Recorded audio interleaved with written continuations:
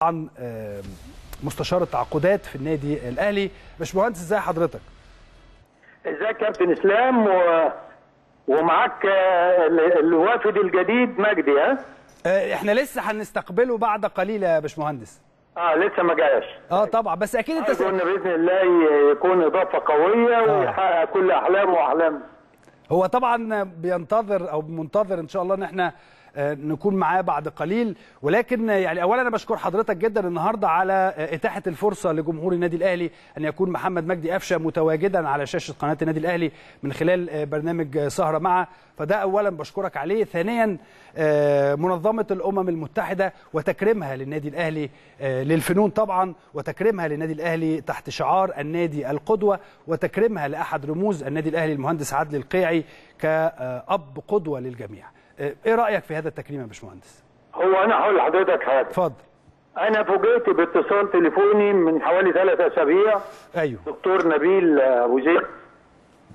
قال لي أنا يعني دكتور نبيل من ال United Nation وإحنا مهتمين بتكريم ال- يعني على هامش إن هم اسمهم UN Arts آه. يعني للفنون بيكرموا ال- الرموز الفنية ويعني ابتدوا يهتموا بنموذج الأب القدوة. نعم. ففوجئت يعني إنه بيشرفني إنه اختارني كأحد المكرمين كأب قدوة اللي يعني على اعتبار آه، في مشوار آه، بين المسؤوليه الرياضية آه، وأنا موافقهم إن العمل في الرياضة لابد أن يكون الإنسان قدوة. طبعا. فطبعا كمان بعد كده قالوا لي والنادي الأهلي له تكريم كالنادي القدوة. امم فطبعا الفرحة بقت اتنين وكانوا في رموز كتيرة بتتكرم النهارده في اسكندرية احد الفنادق الكبرى. أيوه. والحقيقة حفل كان وقور جدا وفي كلمات وفي لكن طبعا النادي الأهلي لما بيتواجد بيبقى اهتمام تاني. مظبوط مظبوط. يعني كان في تكريم لبعض الموسيقيين الفنانين الكبار وأبناء ال- الكتاب الكبار بالنيابة عنهم اللي رحلوا. ومن الوطن العربي آه، أحد كبار الأسماء في الخط العربي اللي عمل ال- الكسوة الشريفة. أيوه. يعني هو حفل معني بتكريم كل شخصية إبداعية. في في مجاله ولها علاقة بالفن بالإضافة إلى إنه بيكون بيشكل في آه، يعني أب قدوه أيوه. فطبعا أيوه ده باختصار. وأنا بعت شوية صور ارجو إنها تكون آه حطيناها كلها على ال- على الهواء مباشرة مع حضرتك أنا وحضرتك أنا أنا. يعني حظي كويس أنا طلعت مرتين أستلم جايزتين يعني. آه جائزة آه، آه، نيابة عن النادي الأهلي.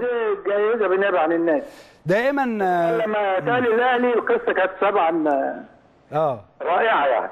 يعني ما استقبلت هذا التكريم كما يليق بالنادي الأهلي.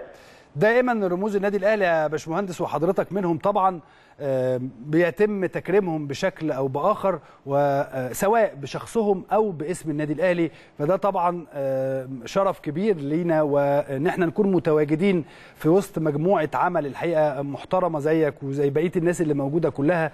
كلكم بالنسبة لنا قدوة ورموز بالنسبة للنادي الأهلي. ودي حقيقة إن هم يختاروا المهندس عادل القيعي أحد الرموز وأحد آه، بالنسبة لكل جمهور النادي الأهلي مش عايز أقول أكتر من كده ولكن بالنسبة على الأقل لكل جمهور النادي الأهلي للمهندس عادل القيعي قدوة بالنسبة لنا جميعا وكلنا نفسنا نبقى نصه حتى في آه، طريقته في التفاوض وحاجات كتيرة جدا يا باشمهندس يا كابتن إسلام أشكرك وأنت أع- كنت واحد من من إبداعاتي يعني لا لا بل... يعني ده. ده, شرف ليا يا باشمهندس فأنت يعني ابتعدت ورحت الزمالك ولا ما افقد الامل انك تيجي النادي الاهلي؟ ما أنا بقول لحضرتك ده شرف ليا يا باشمهندس طبعا. فانت كمان ساعدتني جدا جدا جدا أيوه.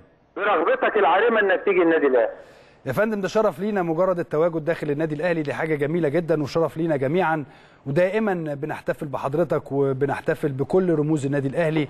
فيعني يا باشمهندس لو حضرتك عايز تقول حاجة تانية آه خلينا بقى مش عايزين نثقل على الناس بقى لأن هم نفسهم يشوفوا ضيفك الجديد الكريم. آه. وبإذن الله يبقى إضافة كما نتمناه. أنا بشكر حضرتك شكرا جزيلا. القدوة والرمز المهندس عادل القيعي. طبعا ده كلامي. أنا بحب جدا المهندس عادل القيعي وعارف قد إيه هذا الرجل بيتفانى في حبه للنادي الأهلي. ولكن